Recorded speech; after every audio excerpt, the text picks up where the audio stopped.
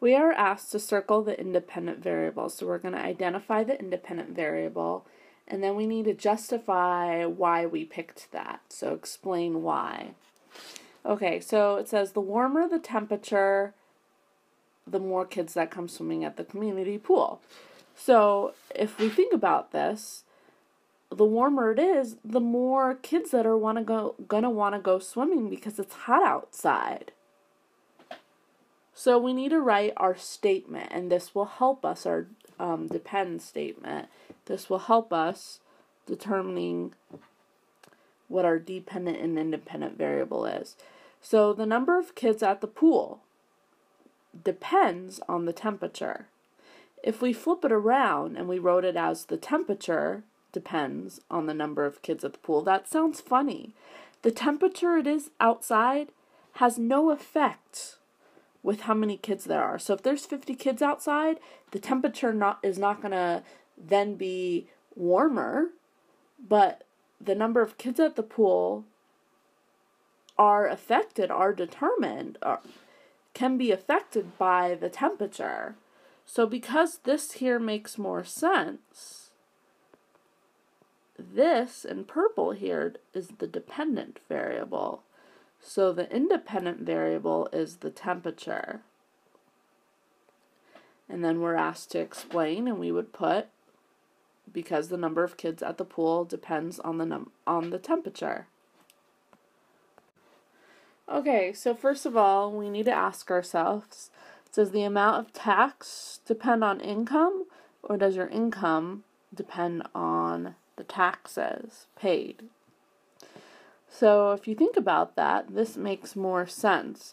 Come April 15th, when it's tax day, the amount of taxes um, that you've paid or what you owe back is dependent on your income. So if you make more, then you're going to owe more in taxes. If you make less, you're going to pay back less in taxes.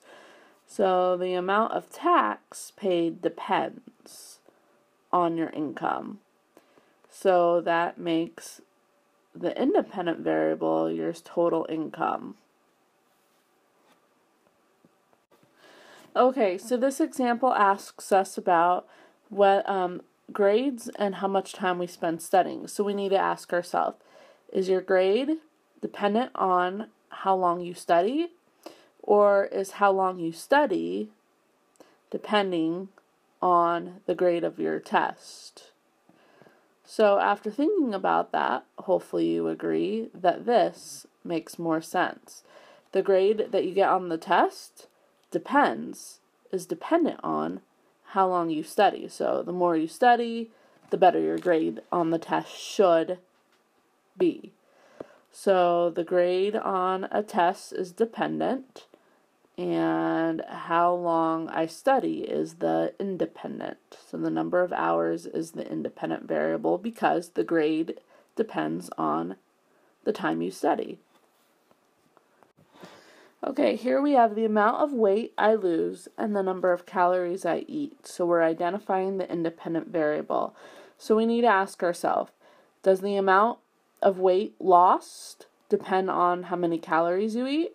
Or does the calories you eat depend dependent on the amount of weight you lose?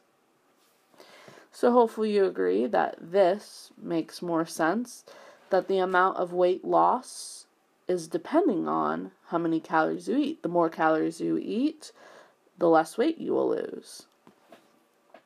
So that means that the calories eaten, the number of calories, is independent since the amount of weight is depending. Okay, here we have the number of days I work and the amount of money that I earn. So we need to ask ourselves does the number of days worked depend on the amount of money that I earn? Or is the amount of money I earn dependent on how many days I work? So hopefully you're thinking this makes more sense. The amount of money I make is depending on how many days I work. So the more days I work, the more money I should be making. So the number of days worked is your independent variable because the amount of money is depending on the number of days worked.